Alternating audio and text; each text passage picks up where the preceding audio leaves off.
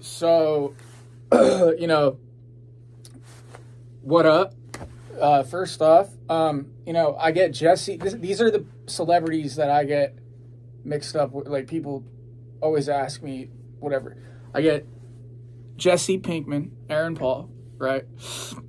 Um, Matthew McConaughey. I don't know about that one. I've gotten Adam Sandler before. Uh, El Diablo Beats here just said that I'm the grown up version of the kid from Big Daddy. uh, you know, the kid who like pisses on the wall, you know, writes his name and shit. Um, great film. Love Adam Sandler. I grew up on, you know, Happy Gilmore and fucking, uh, what's the other one when he's in school? Billy Madison. Billy Madison, dude. Um, Veronica Vaughn is so hot. Bridgette Wilson. Is that her name, Bridgette Wilson? Is she alive still? Oh yeah, she's better than. Is ever. she married? What? Not, not She that that be. matters, but She you know, can be. she can't. I like, I like his style. He said she can be. You know what I mean? Anything is possible in this life, uh, As long as she got that paper. as long as she got that paper. You know. Um, I just recently, I don't know how I slept on this. Like I was just running amok for years and like never in one place for too long, you know, but I completely missed uh Sons of Anarchy, man. Um I'm on season 4 now. It's crazy. Um they're in Ireland or they just got back from Ireland. Uh probably to watch like five more episodes tonight. Um but yo, Tara or is it Tara? If, if Jax says it's Tara, Tara. Tara. Well, Jack's like Australian though. yeah, but he, he does a, he does a good American accent. Like he, he does he does pretty good. Like have you ever seen him talk in an interview? He's got like a strong accent. Really? Yeah, I know. I'm not. I'm not gonna butcher where he's from and pretend like I know what accent it is, but it's, he definitely has a strong accent. I mean, I get it because yeah, they do have strong accents. Just like, like, dude, I can speak a little like bit like, like, of wanna- Spanish. It's almost like lightweight British what he ta- how he talks. Like, is he from New Zealand or Australia? I have, that's what I'm saying. I'm not sure where he's from, but he's like he has like a very, very like hello, you know, kind of accent. Hello. Hello. Uh, yeah, like speaking You sound like you're Spanish. from London. I can say like you know a good amount of shit in Spanish, but uh, I can't. I'm terrible at rolling my R's. You know, That's half. That's half of like the pronunciation shit. Like I can eat. I can eat pussy hella well, but like rolling my R's. And I played clarinet as a kid, as I've said in the interview with Darko. You know, so the reed, like licking the reed and like blowing on the clarinet. You'd think. I mean, it did make me a good. Like I'm. Girls always tell me I'm like on their top 10 list of people they made out with you know um what the fuck was i talking about i don't know. We're being we're being random tonight. Tonight is another random night. Diablo ask me a question. We're, we're gonna do a three point uh question. It can be a two-parter question. Oh shit. Yeah yeah yeah. Um he's uh he's uh he's loading up uh non-samples into the MPC.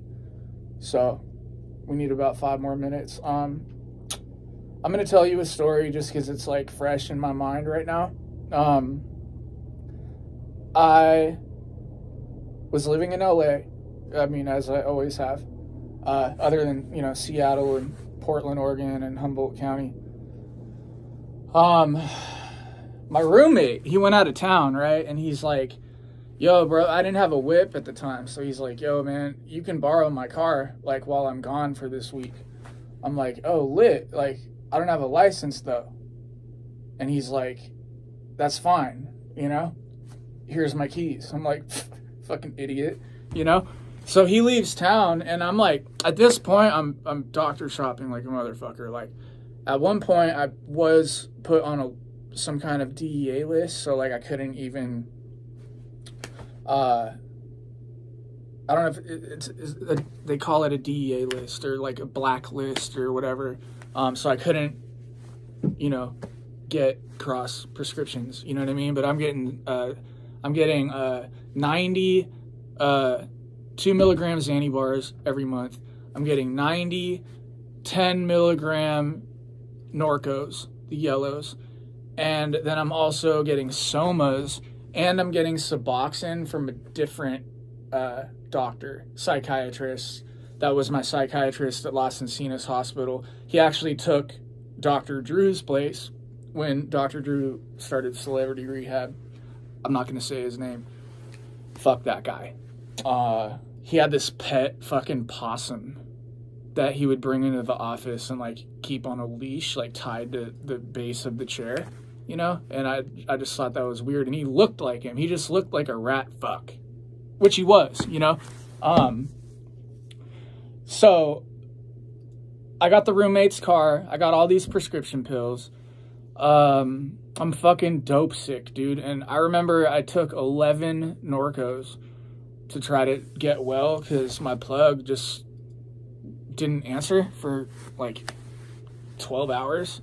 Um, and it, it, it just made me feel worse. Like it fucking gave me a stomach ache and I don't know how I still have like the lining in my stomach, you know, from all the pills I've chewed up and snorted and shit. Booty bumped, you know, all that. Um, don't chew or snort or even do ecstasy. Uh, booty bump it.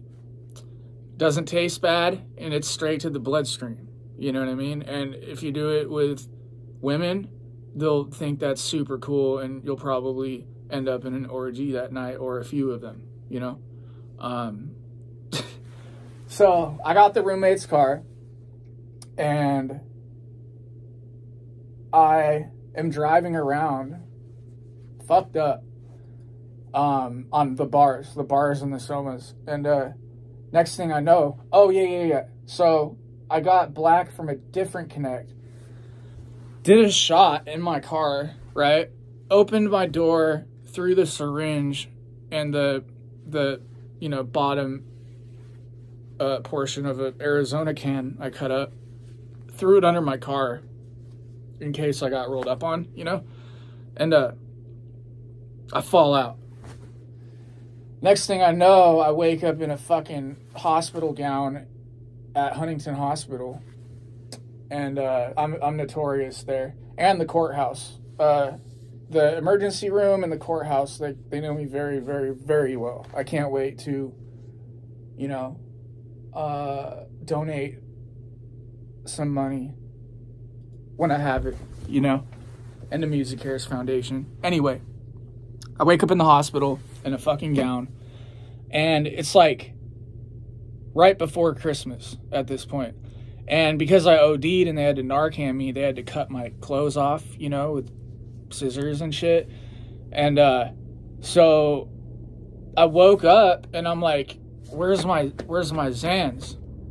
And they're like, "Oh, we confiscated them." And I'm like, "Well, what the fuck?" Like that's all I cared about. Not like, "Oh shit!" Like I almost died. I'll never do that again. But like, I woke up and my Xanax was gone. I was fucking heated. Um. So they brought me a donation box of clothes, right? And then uh, handed me some car keys and I didn't remember driving. But I didn't remember till like later I put the pieces together, but I didn't I didn't like so they handed me keys and they handed me a note and they're like here's the donation box of clothes. This is where your car is parked. And I'm like, "My car?" And they're like, "Yeah, your your red uh Toyota." I'm like, "Oh, yeah, yeah, yeah, yeah, that car." Okay. Um, they're like gave me the intersection it was parked at and shit. And I'm like, what the fuck, dude? Like, how did I get a car? And then I'm like, oh shit, my roommate's car, right? So I pick out an outfit from the donation box, and it's uh, do you remember that like they didn't have any male clothes or like men's clothing, you know, grown up males clothing. Um, it was all kids' clothing and women's clothing in the donation box. And then they had, I had a shaved head at the time. It was December. It was fucking cold. And they had a Santa, a Santa. Have I told you this story, bro? With the Santa hat? I had a Santa hat, dude. And it had reindeer. And you press a button on the side and it like lights up and shit. So I, I picked out the the fucking el- not a Santa hat, an elf hat. It was green with the ball on the end, reindeer jingle bell, and it would it would light up, and the song would play jingle bells, jingle bells, jingle all the way. You know what I mean? Straight scumbag, fucking. I looked crazy, dude. Um, do you remember the the the women's uh, surf company called Roxy? Yeah. Yeah. Um, uh, Bro hose had it. all the bro hoes had it exactly, um, and all the bros had those trash fucking SRH hats with the flipped up brim and shit. They get fucking punched in the face, dude. Uh, so I had an orange Roxy halter top, like with the pointy sleeves up here, so like exposing my entire arms. The fucking uh, Santa hat with the reindeer that lit up that fucking sang jingle bells, and then I had a, a kid's size medium neon green sweatpants, like they were like like the bottoms of the pants were like up to here, you know, like that's how fucking that's how tight they were on me, dude. And then uh, and then my whatever shoes I was wearing, like Vans or Nikes, never Adidas unless they're, you know, the Yeezys are cool, but not anymore because fuck Kanye. Um, so I, I stumble out the hospital, a new man, right? I have these car keys. These motherfuckers took my Xanax, and I have a note that says where my car is parked, right? And then I have this ridiculous fucking orange Roxy halter top and neon green kid sweatpants and a fucking reindeer hat on, dude. Uh, so I get to the car and like I knew it was my roommate's car, obviously. Like once I saw it, I'm like, oh shit, that was fucking stupid. Like, what am I doing driving so fucked up, you know? Um, I look in the back seat and there's, you know, my entire bottle of Norcos minus the 11 that I popped to try to get well earlier in the day just spilled all over my back seat. Like, I guess like cops didn't even come. I don't know if someone was walking their dog and like walked by and called 911 and just the paramedics came or what, but thank God because I wouldn't I would have got a DUI, you know? Um so they left the car parked. Thank God. Um I drive it home and uh get some more heroin and uh I decide to walk down the street to this drive-through liquor store, right? I popped a Xan, walked out the door. I go to this drive-through. Uh, they didn't sell liquor; it was beer. Um, and I get a 32 ounce Miller High Life. Now I was on and off with Suboxone at the time, and I remember this because it was this time period when I lived at that house, and every day I would drink Miller Lite, and I would just be on my Suboxone, and I would call myself sober. And meanwhile, my girl at the time, my ex girl at the time, uh, you know, like I would never want to fuck because I was just high and like fucking opiates are way better than pussy, right? Um, but I'd like I'd let her dome me up, right? And like, um, she swallowed it like the G that she was. And uh man, uh she swallowed it and was like and I was like, "What the fuck was that? Why did you make that face?" She goes, "That shit tastes like fucking Suboxone and Miller High Life." I was like, "Better you than me, you know?" Um uh she was vegan. Her shit, she was clean as fuck and uh, a stripper and fucking beautiful. Um, so I drink the Miller High Life in the parking lot of the drive-through place after popping the Xan, and I I kill the 32 ounce, and then I, the, the next thing, the last thing I remember, I'm walking down the street, and then boom, next thing I know, it's like 12 hours later. And I wake up on this random couch to this construction worker, like this paisa construction worker, Paisa. paisa, banging fucking nails in the wall. I'm like, hey, paisa, what the fuck are you doing, eh?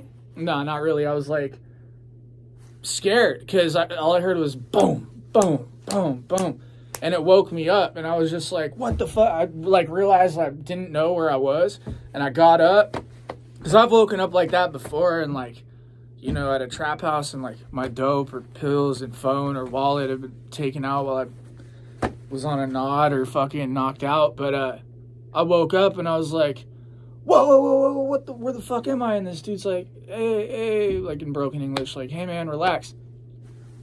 Um, you, you, we found you out front, face down in the in our front lawn, and so I had drank that beer, and I guess stumbled a little bit further down the street and just fell flat on my face in the fucking grass, you know.